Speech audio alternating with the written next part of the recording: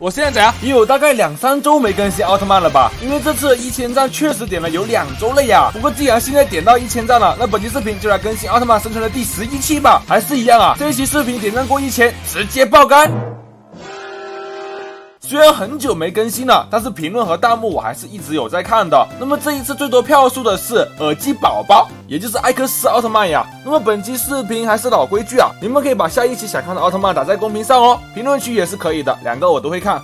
哎，我那么久没上线，怎么门口蹲着一只章鱼哥啊？这里不是海奇堡啊，章鱼哥哥，拜拜您嘞。其实艾克斯的人偶还是非常容易获得的，随便挖一挖应该就能齐了。那么艾克斯人偶的话，不知道大家还记不记得啊？我是有两个的，先制作出艾克斯的标配变身器啊。不过在家里变身的话，后期做动画好像挺难做的吧？先出去好吧？哎哎，不是，我可以后期小黑夫呀！来吧，耳机宝宝。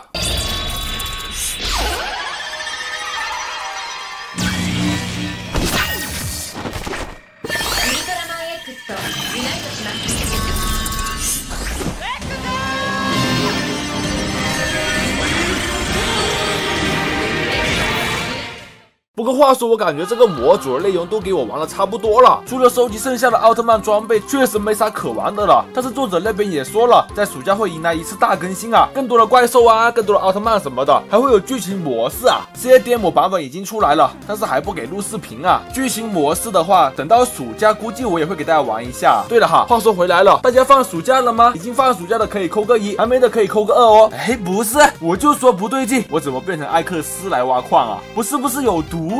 这太浪费了吧！那么我也是挖到了两个哥莫拉人偶了，这里就会有人问了，为什么需要两个哥莫拉人偶呢？因为做装备一个卡片也需要一个啊，这么少就不错了。先来做一个虚拟哥莫拉形态，好吧？不过当我看到这个配方表，我就觉得这个形态它不可能厉害到哪里去啊！当然啦，肯定还有很多人喜欢艾雷王啊，安排妥当好吧？那么先来变一首哥莫拉形态，小黑屋走起。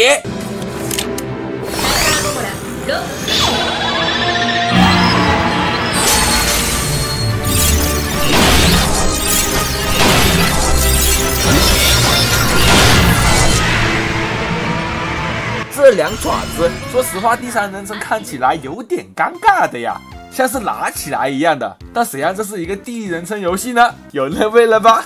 那么这次来打的依然是沙包啊。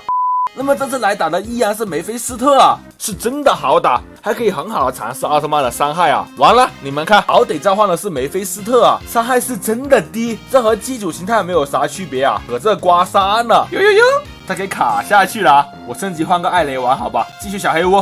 切り札になってくれサイバーエレキングロードします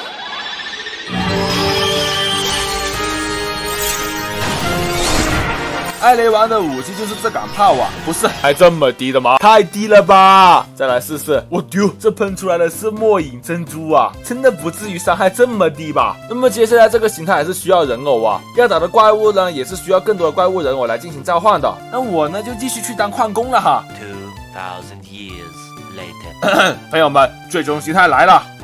一緒にユナイズ